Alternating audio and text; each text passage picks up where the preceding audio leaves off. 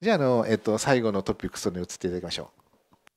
一点今先ほど先生がご指摘されたその24時間っていうところもですねやはりその全部の症状をやっぱ全部評価するにはやはりそのマンパワー的にも時間的にも無理ですのである程度その症状ですとか域所を決めてですねこれだけあのこれぐらい悪化したら何でか取るって形でそ運用についてもですねある程度決めてやるっていうことがあの想定されているような状況でございます。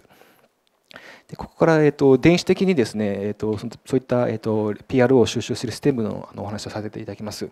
で ePro なんですけども、これは E はあのエレクトリカルの役でありまして、で患者レポートだとかも収集するという、これはシステムを指しているような言葉でございます。でまずですね、どういったシステムでやるかといいますと、多くの場合ですね、えーとタブレットですとかスマートフォンですとかそういったものを用いて、え電子的に評価することが一般的となっております。でその時にですねどういったデバイスを使うかですとかどういったその方法を使うかというのが2つございまして1つは BYOD といいましてブリング Your Own Device というので本人が持っている例えばスマートフォンを使ってですね評価する方法ともう1つは、まあ、知見とかですとやはりその統一して評価したいので中央から配布してですねこのデバイスを使って評価してくださいっていう方法と2通りございます。まあ、その日常臨床ではあの BRD を使った方がですね、えー、といいかと思いますけども、まあ、治験の場合ですとやはり今そのデバイスをですね全員分準備してですね治験用のデータを取るために、え配布しているというのが、え現状であります。でもう一つはそのデバイスのその保存方法と送信方法にも2パターンございまして、えー、とウェブにこうつなげてですねウェブにアクセスしてデータを送ったりする方法と自分のその携帯端末上で保存する方法と2通りございます。これのいいところ悪いところございますが例えばデバイスで保存する方法でありますと例えばそのネットに使わなくても自分のデバイス上で評価して記録できるのでいつでも評価できるというメリットがありますがそのデバイスをなくしたりですねねえ壊しれちゃったらそのデータが失われてしまうというデメリットがある一方ですねウェブウェブ型の方は、えーと、ウェブにアクセスできる環境は必要なんだけどもえそれを使えばですねタイムリーにデータが中央の方に飛びますので、まあ、それによってタイムリーなデータの収集ですとかモニタリングができるということで、まあ、一長一短でありまして理想としては両方ですねデバイスでも保存できてネットにつながる環境に行ったらデータが飛ぶというような方法を構築できるのがいいのかなというふうに思っております。E プロの普及状況なんですけども、これ、えー、と企業知見の例でございますが、2015年の調査によるとですね、30社中まだ10社しか使われないということでですね、まあ2013年の調査とあまり変わってないということで、まあ、知見においてはですね、まあ国内でまだ普及しているとは言えないという状況ではございます。これについてですね理由がいくつか取ったんですが例えばそのなぜ服用しないのかということで例えばデバイスの使い方が分からないからなのかやっぱ記録はやっぱりその電子的じゃなくて紙の方がやっぱ安心するなのかもしくはそのセキュリティが心配だからなのかということで、えあるんですがこれについてはですねウェブアンケートっていうのは結構広く普及しておりますしあの ePro 以外もですねその医療者が評価するデータについても紙以前は紙で評価したものを、えあの電子化されましたし、えセキュリティにつきましてもネットショッピング等も進んでおりますので特にこういった技術面でのあの心配っていうのは技術的にはほぼ問題ない状況になっているのかなというふうに思います。思います。まあ、そこであの一番のあのハードルとなっているのがですねやはりコストがかかるというところでやはり治験の場合はですね配布する方の方法を取っておりますので、ま、デバイスを人数分買ったりですねそういった運用コストが高かったりですねそのシステム自体がですね高かったりするっていうのがまあ理由として挙げられたりですねあとはその規制要件が不明確であるためということで PMDA の方もですねあのえきちんとですね正確にどういった形であの ePro を運用しましょうということはですねまだ明らかには言ってないような状況でありまして FD の方はですねあのガイダンスの方にもですね、ま、EDC と同様に、え規制要件がございまして、ま、それにのっとって作りましょうといった形で、え運用はできているんですけどもまだその日本ではですね新しい技術に対してなかなか少し保守的な、えところがまだ残っているのかなというふうに思っております。一方あの研究者臨床研究の場合はですねやはりあの効率性がいいですですしあの自分のその患者自身のあの iPhone を使ってデータ収集する方法も、えー、やっておりますのであの企業知見よりはあの研究者がやっている臨床研究の方が e プロについてはあの普及している状況でございます。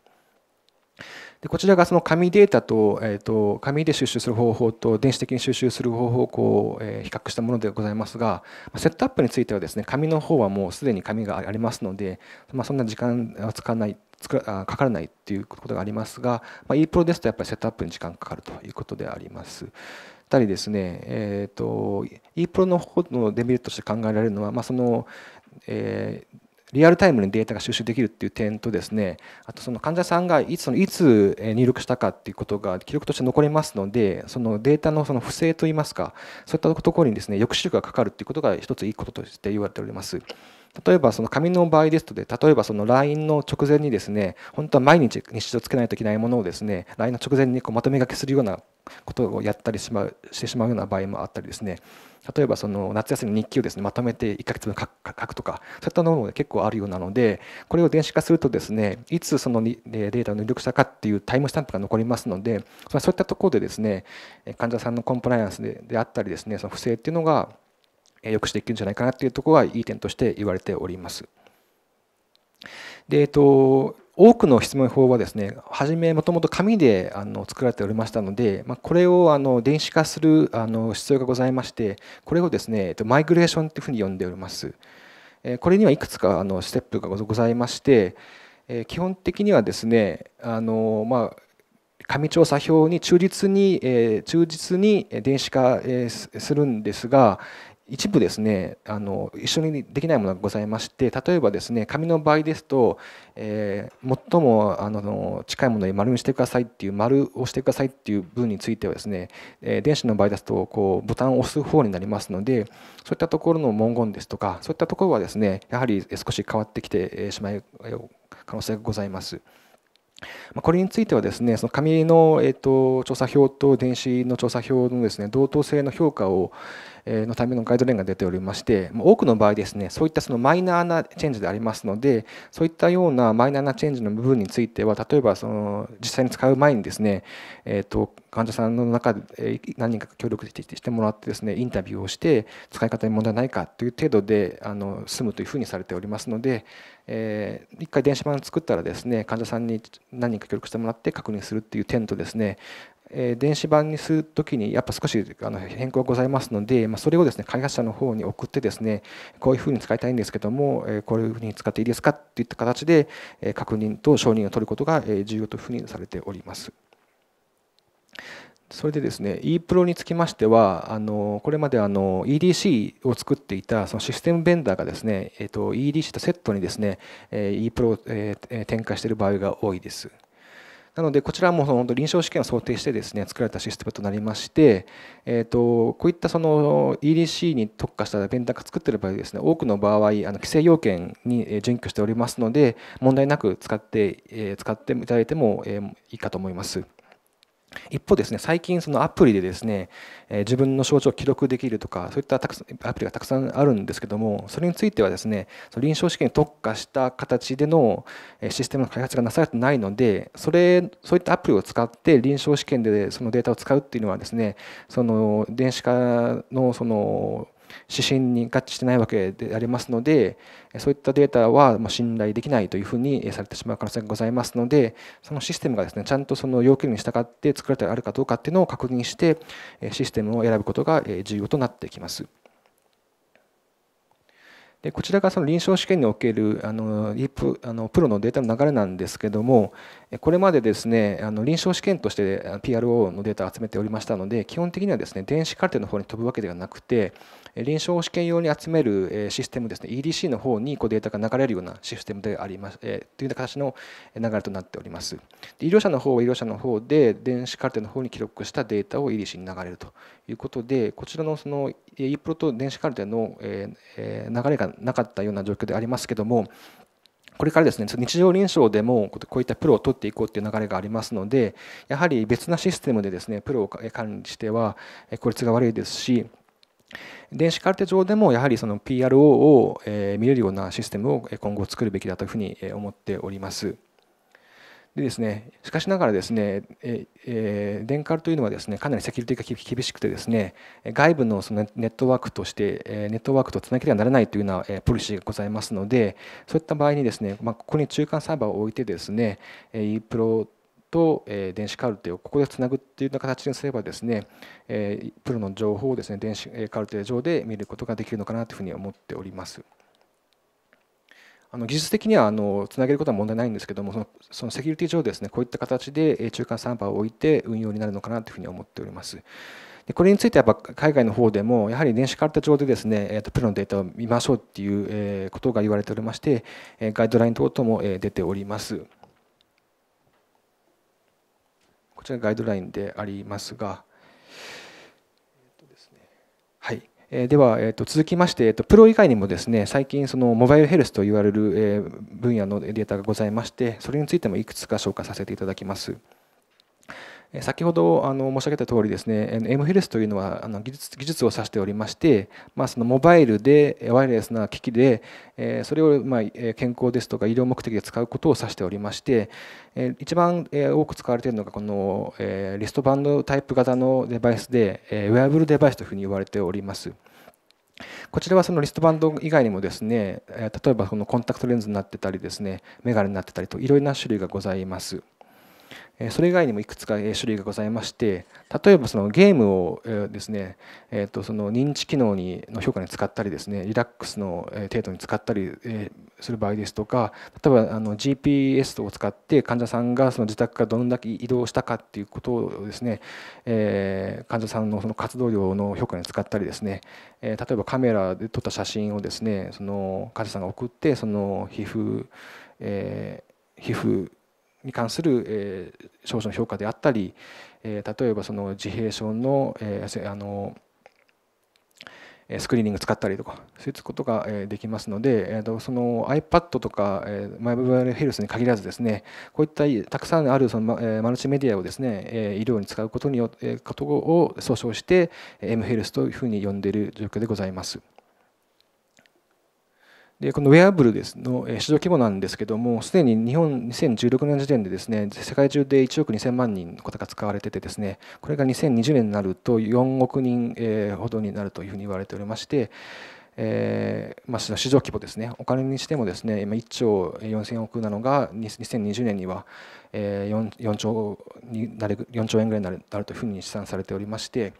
えーまあ、かなりの人がですねこういったウェアブルデバイスを身につけて生活するようになりますので、まあ、こういった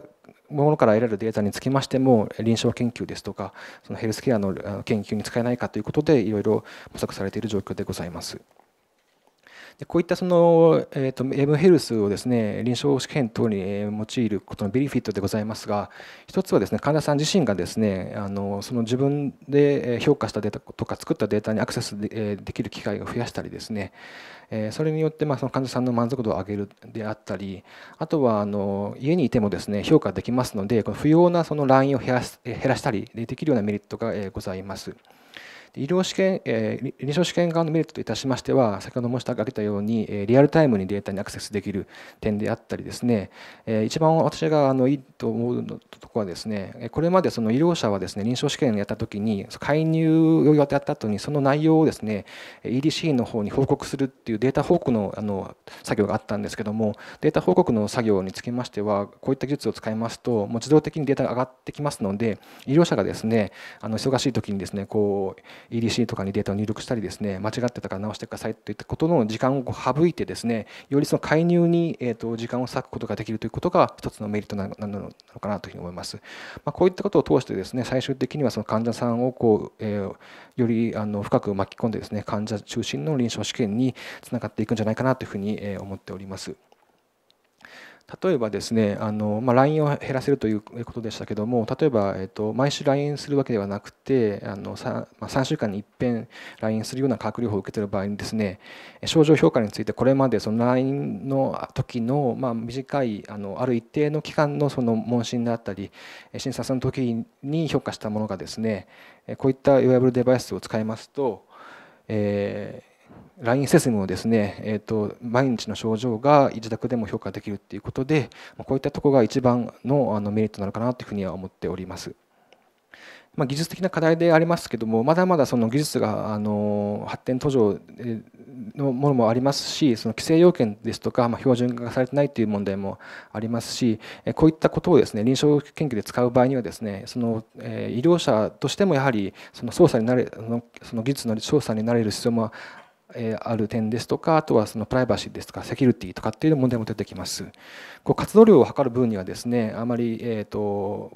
問題ないかと思うんですけども例えばこれが、えー、と GPS とかが入ってるデバイスでありますとその患者さんがどこに行ったというところまで全て分かってしまいますので、まあ、そういったところですねあの細かすぎるデータも取れてしまうというところについてはある程度その対策が必要かなというふうに思っております。で最後あの電子的にですね電子、えーとえー、試験の参加の同意を取る、えー、プロセスですねそれを電子化する、えー、仕組みのことを e コンセントというふうに呼んでおりましてこれの紹介をさせていただきます。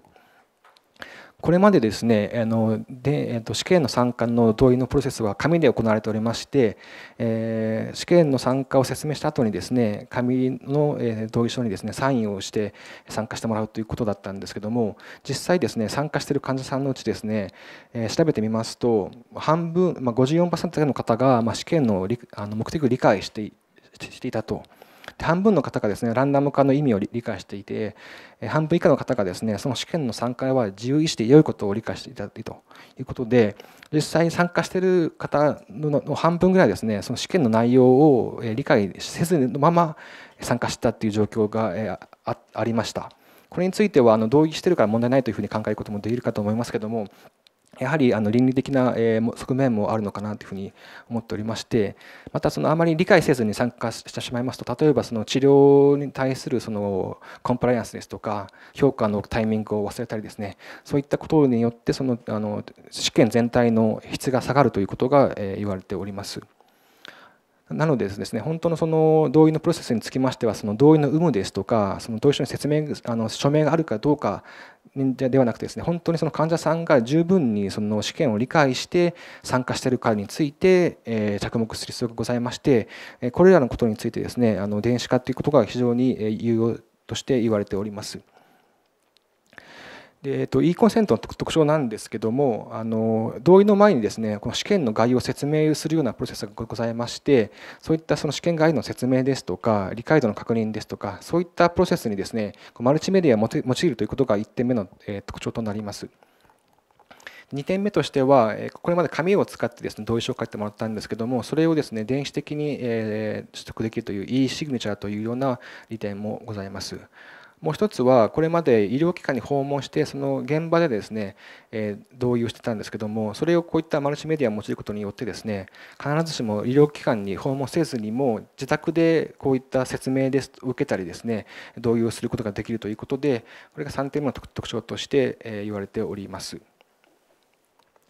実際どういったあのマルチメディアを用いるかといいますと例えばですね試験の説明をするときはですねビデオですとかオーディオを用いたり写真ですとか図表とか用いたりしてこういうことを使うことによって患者さんがより試験を理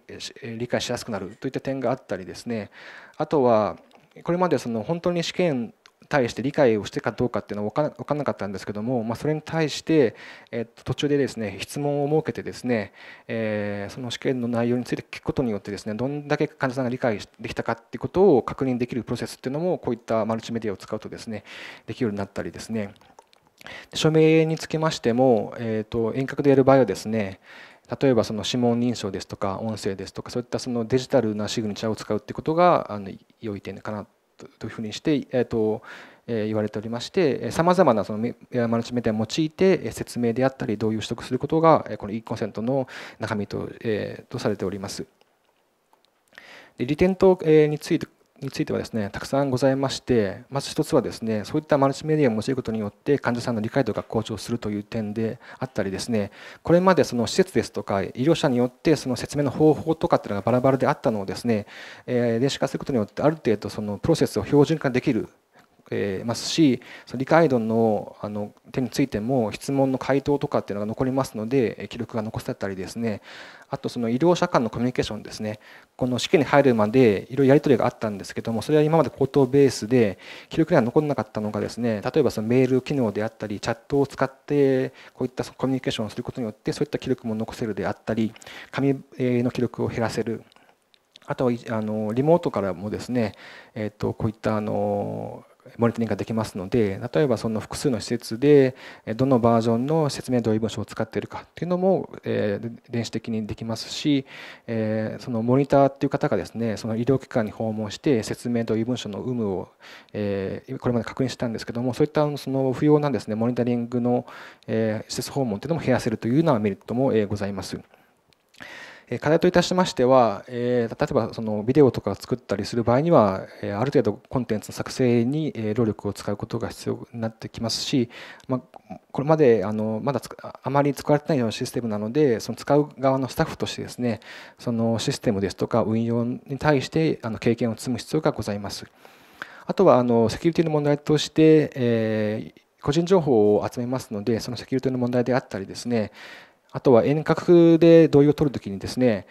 実際その患者さん本人が同意しているかどうかっていうところを確認する方法が問題となるということで、これについてはですね、例えばその同意するときにその本人の免許証をアップロードしたりですね、そういったことで確認しましょうといった方法が言われております。またその遠隔の場合にですねどういったどういった形でその患者さんと医療者のコミュニケーションを取るかということですね例えば患者さん自身が質問があった場合にですねどういうふうに確認してしたらいいんだろうかというところが、まあ、メールとかチャットとかあるんですがこの辺も、えー、と経験を積んでうまい運用をする必要があるかなというふうに思います。あとは、ま規制要件として、ま治験で使う場合はですね、ま PMDA の方もまだこれに対して明確なスタンスを出してないというところもありますし、え研究者主導の臨床研究の場合はですね IRB の方が承認する必要がございますので、まそういったところとですね、えー、とこれの利用についてのですね認識を相互に共通化させる必要があるのかなというふうには思いました。さてあの最後ですけども本日のまとめとなりますけどもまずあの PRO につきましてはあの患者報告アウトカムでありますがそれ以外にもですねあの医療者が評価するクリニシャンアウトカムですとか介護者が評価するものですとか、えー、と大きくは4つに分かれております。で臨床試験で、えっと、PR を用いる場合はですねただ選ぶのではなくてどういった対象ですねどういったことを評価したいくてどういったツールを用いるかということをですね十分に、検討した上で、まあ、その信頼性がある、バリデーションされた、広く使われている尺度を使いましょうということでありまして最後はですね臨床試験の効率性ですとか、品質を向上するときにですね最近あの電子化が進んでおりますので、こういったあの ePro ですとか M ヘルス、e コンセントを使ったことによってですね、全体的にあの品質が向上して効率性につながっていくんではないかなというふうに思っております。以上、私の発表以上となります。えー、どうもありがとうございます。始まりのところでどうなることかと思いましたが、あのだんだん分かりやすくなってきましたですね。えー、あのこれあの本当あの安心しましたけども、えー、っとであのまあ一番最後のセッションも含めて、えー、全体を通じてですね、えっと皆さん方からご質問コメントがあればいただきたいと思いますけども、えー、どうですか？どなたがございます？はいどうぞ。えっと MSD の青木と申します。今日は興味深いお話ありがとうございました。えっとまあ、昨今というか最近あの、まあ、大規模な臨床国際共同治験が、まあ、行われておりましてで、まあ、以前からまあ疑問に思っているのが例えばその痛みの指標とかをした場合にあの、まあ、民族差があったりだとか、まあ、文化の違いで例えば日本人がこう痛みにあまり言いにくいとかですねまあ、アメリカ人は痛みに強いから平気だとかなんかそういうところで何かこう、まあ、国際国際的に見た時にこう痛みの指標のなんか差が出てきて問題になったということはございますでしょうか？えっと、私が経験した臨床試験の中ではそういったのはなかったんですがあの評価の方法としてはあの同じような、えー、ツールを使って評価するっていうのが、まあ、世界中でですねあのあの共通したものを使いましょうってことになっているかと思います。その民族差についてはですね先ほどあの少し説明したあの臨床的に意義のある差っていうのがですね例えばそのアメリカ人と日本人で違う場合にはですねそのその集団を用いて検討することによってもしかしたらその違うかもしれないのでそれについてはそのあの個別の集団であのどんぐらいの効果があったらその集団は満足しているんだろうかっていうことをあの必要であれば検討する必要があるのかなというふうに思いました。いやその懸念あの私もよく感じることでね実はあの随分以前だけど生徒罪の臨床試験やった時に、まあ、ちょうど当時始まったバススケールやってみたんですけどね、えー、っとまあ、日本でやったんですね、えー、九州の患者さん。ほとんどがみんな真ん中なんですね。見事に真ん中。ご飯を全然食べない人も全部食べる。人ほとんど真ん中なんですよ。であやっぱりこれ日本人にバススケールって合わないのかな？当時は思ったんですけども、まあ、その後だんだんと何ていうのかな？患者さんご自身は全部違う患者さんなんですけども。だんだんとそれについてはあの割とこう何ていうのかな？私たちが思ったことと近い形にはなってきた気はするけどもやはりその表現の仕方とかいうのはそのバスにしてもあの10点満点のやつにしてもやっぱ日本の方って大体こう真ん中ら辺に選ぶ傾向があるような気はいたします。ですからそこが非常に重要なポイントで、えー、まあただその主観的なものというのはもしかしたらあまり感じてない感じない民族というのとものすごく感じる民族があったりするからそこのところが正しいか正しくないかということとご本人の満足とつながっているかどうかっていろんな仕方見方がありますよね。まあ、でもそれあの私も本当に素朴に思ってたことなんでなんか先生コメントください。今思い出しましてあのプロ CTCA の日本語版あの開発した時にですねあのいろいろ患者さんにアンケートを取ったんですけどもやはりその、えーと、リッカートスとリッカートスケールでですねあのこうベンチマークがあるんですけども実際それ何を意味するかっていうのが分かりにくいっていったような結構回答がありましてよくよくこう文献を見てみますと日本人の方はですねあのリッカートスケールに対してですねあの回答を迷うっていう方が結構いらっしゃるっていうことがあの先行文献としてありました。なのでその中西先生おっしゃったように例えばその5段階評価で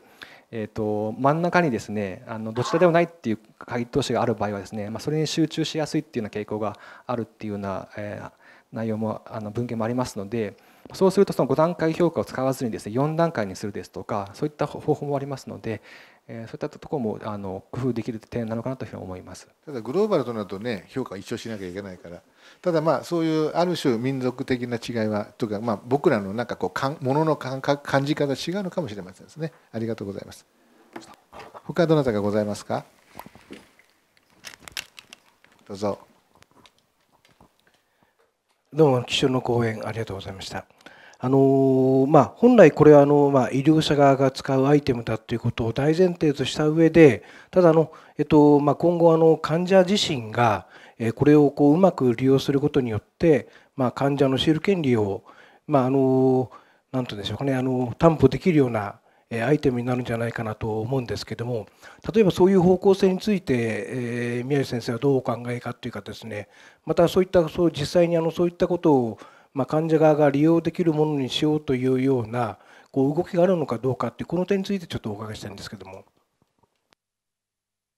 やはり今おっしゃったようにあの患者さんがですね自分自身であのいろんなことを評価していくっていうのは今後増えるかなというふうに思っております。で今日紹介したのは臨床試験で使う例を中心だったんですけども、まあ、日常にあの普通の生活でもですねアプリをこう検索するとですねこう頭痛を管理できるアプリであったりこう症状をあの管理できるアプリであったりたくさん出ておりますのでそういったのはその患者さんとかまあそのあの本人がですね調べたいものを測るっていうとこでたくさんあの技術が出ておりますのであの今後その利用の方もあの深まってくるのかなというふうに思います。問題としてはその得られたデータがですね本当にそのその測りたいものを測っているかどうかについてはですねあの市販のアップ市販といいますか普通にあの無料で使えるようなアプリはですね、まあ、検証されてないところもありますのであの臨床的に使う場合にはそういったところは注意深くそのシステムの作り方であるとか内容の妥当性についてはあのあの深く、え、検討する必要があるのかなというふうに思います。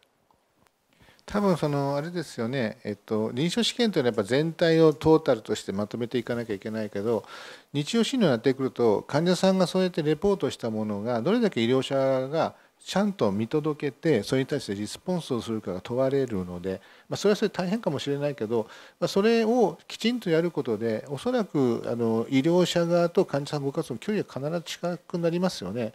あのまあまあ、私はあの改心していて必ず心がけていることはまあ、患者さんに、まあ、あの症状だとか具合を聞くんですけどもその時にあのやっぱり患者さんが訴えられた時には必ずそれに対してできることだったらあじゃあお通じがあれだったらちょっともう一回よく聞いて主治医の先生とお通じの薬のあの話しましょうとかいうこと返したり難しいことだったらちょっともう一回よく調べますからあの必ず検査するけどどんな検査するか主治医か伝えますねと。つまり患者さん側からの何か声かかった時にあの本当にそれを全部私たちが叶えることはできないかもしれないけどもそれに対する私たちがあの反応といいますかねそれに対してあのそのあの、まあ、訴えですとか患者さんの声に対して動いているということは絶対出さなきゃいけない。でこれがやっぱり本当にそれを問われますよねこれに関してはね。そんな気がします。はい他にはどなたかございますか？はいどうぞ宮田先生。宮路先生に質問があります一つは「ペイシャント・ライク・ミー」みたいにああいうふうに患者さんが自分がどういうふうにその診療診察を受けてなおかつ patient reported outcome みたいなものをまとめたデータベース先生はどういうふうに評価されますが「か」が1です。で2はですね E コンセントなんですけど僕も IRB やなんかでいろいろやってて最近再生医療等なんとか委員会というのもあって。で分かりやすく書けと言うんだけど実際紙だけで書けないっていう限界がすごくあって。で特に新しい技術なんかそうイメージもできないような患者さんがね。だからそういう意味ではいいコンセントってすごく期待してるんですけれども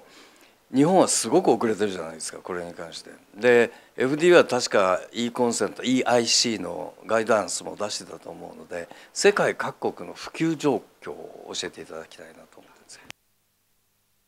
1点目のそのペーシェントレコミーとかその患者さんがこう交流するサイトで集まったデータの活用についてはあのまあ臨床試験っていう以外にですねあのそのシグナルディテクションといった形でですね患者さんがどういったその症状に対して話題にしているのとかですねあとはその全然今まで把握しなかったような副作用を話し合っているとかそういったところは非常にあの情報としてあの貴重だったと思いまして、まあ、それはその臨床試験というよりはそのもうちょっと大きな枠組みのその安全性の監視としてですね例えば FDA ですとその Facebook の内容をチェックしたりするともありますのでそういったデータの活用は今後あの増えてくると思いますし、えー、とまた技術としてはその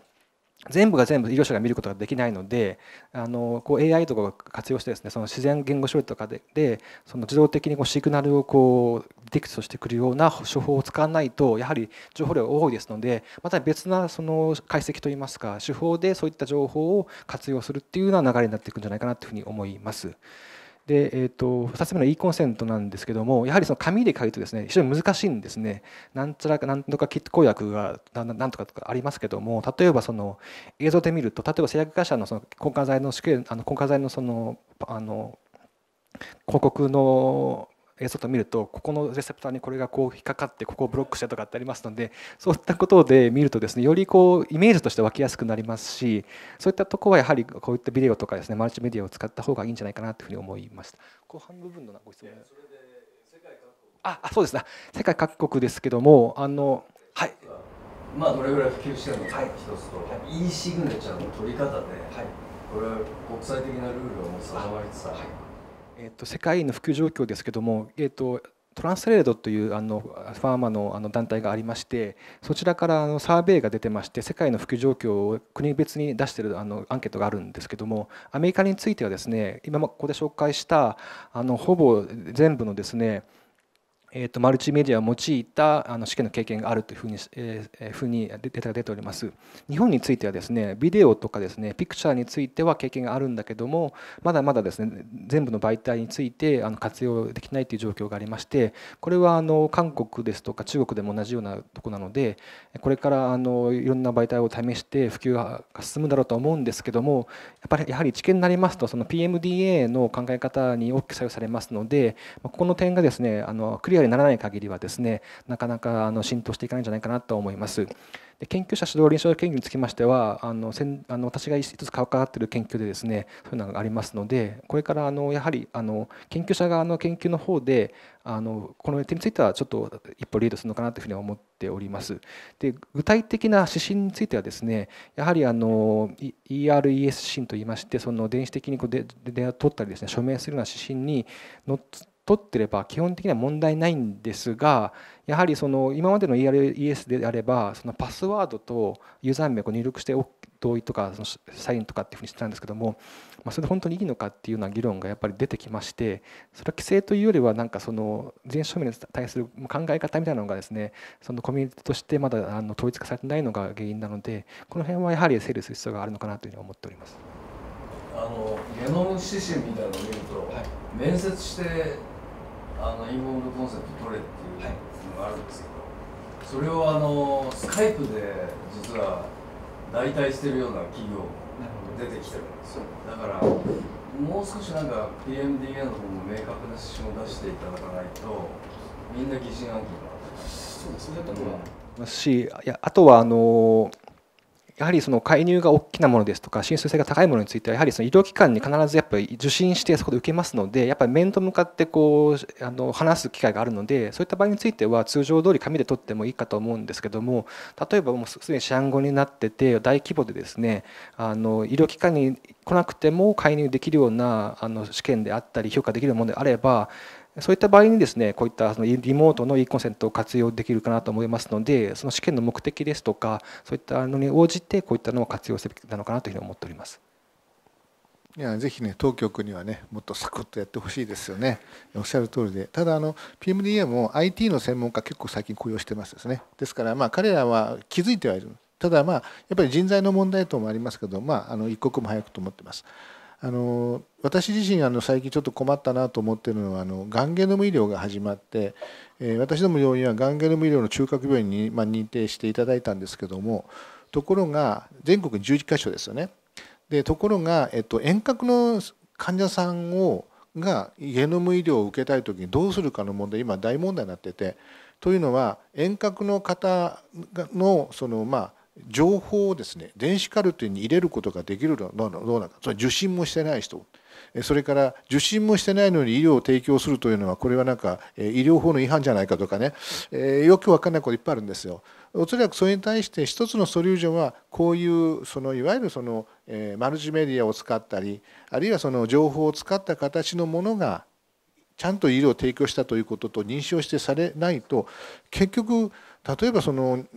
鹿児島の患者さんだとかそのあるいは日本海側の患者さんって本当にあの受けるにも本当大変なんですよね。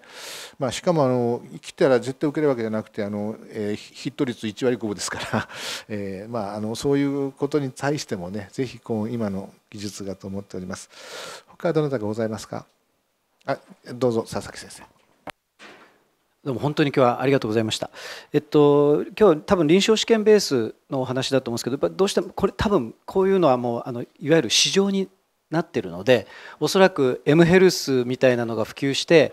もう今からの世代の人は自分の健康管理をデジタルデータを取りながらこうやっていく時代が来ると思うんですよね。そうすると病気になる前のデータまで持っててその患者さんが。で我々の前に来てでそれであのある治療をした時に、まあ、そういったのを参考にできる時代がおそらく来るのかなと思うんですけどもあの将来わざわざ臨床試験のためにデータを取るんじゃなくてもその持ってるその先ほどのあのバリデーション必要だと思うんですけどその M ヘルスデータみたいなモバイルのヘルスデータをやっぱ今後使っていくような方向にならないとあの実地臨床に落とし込めないんじゃないかなっていうふうに思うんですけどその点いかがでしょうか？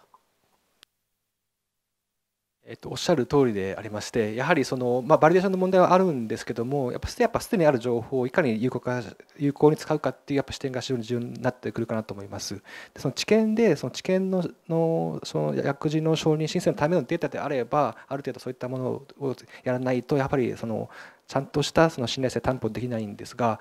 それ以外で取られたデータについてましても、やはり臨床的にすごい参考になるようなデータがありますので、そういった面については、その日常臨床の範囲では、そういったものを活用してですね、やる分については、あのあの規制といいますか、大きなそのあの調べもないんですのであのぜひぜひどんどん活用していただければなというふうに思いますが。そうするとその過渡期我々多分今過渡期にいると思うんですけど過渡期にあの例えば患者背景の時に喫煙のケースあれとか取るじゃないですかああいったのをこの患者さんが例えば M ヘルス持ってたらそのデータをもうプロトコル上集めておくとかそういそういったことでこうあのバリデーションをこうちょっとスキップできるっていうようなことはあり得るんですかね？背景因子の中に入れとくっていうなるほど。そういった情報をあのすでにあるあの電子的化された媒体をこう引っ張ってきて活用するっていうのは非常にあの面白いアイデアかなというふうに思いますが今のところそういったところをあの進めてる研究ないかもしれないんですけども今後そういったところはあのやはり活用の事例としてあの進んでいくのかなというふうに思います。もうちょっともうちょっと普及しないとダメだと思いますけどね。はい、ありがとうございます。あとそのデータの標準化であの一つのデバイスじゃなくていろんなそのデバイスを使う必要がやっぱりあるかなと思いますしそういった場合はそのデータの標準化っていうところを押さえておけばどんなデバイス使っても同じようにデータ収集できるっていうところがありますのでそういったところあの課題になるのかなというふうに思います。他どなたかございますか？よろしいでしょうか？あのやはりあの科学技術の進歩はものすごいですよね。で私たち今当たり前と思ってるけど例えば生化学の検査って試験管1、2本で一気に何十のことが測定できるようになったこれ私が医者になってからのことでしたしそれから例えば画像検査なんて今全身の CT は普通に取りまして体中のもうとにかく断面図が見えるようになってきた。えー、つい最近はもうガンゲノミドすでにあの当局とかアメリカではもうあの収載保険収載といない、えーと、薬事承認されてますけど数百の遺伝子を一気に調べることができる。でこの IT というのはおそらくそれをさらにですね凌駕するようなものすごい情報そしてそれも膨大かつかなり詳細な情報を私たちの前に提供してくれるような気がするでただこれをいかに私たちがまこなしていくかというのがまあまさに問われていると気がしますしそこにはさまざまな課題があるのは今日のお話からあの見えてきたと思いますがでもそんなにとても途方もなく超えられない壁じゃなさそうですよね。えー、まあ、あのそれをつきましては宮地先生にしっかり頑張っていただいて、えー、一刻も早くあのこういった IT 技術が私たちの目の前に、えー、来てそしてそれが本当にあの医療の、え中で活用されることを、まあえ期待したいと思います。えそれではあの素晴らしいご講演いただきました宮地先生改めて拍手お願いします。どうもありがとうございます。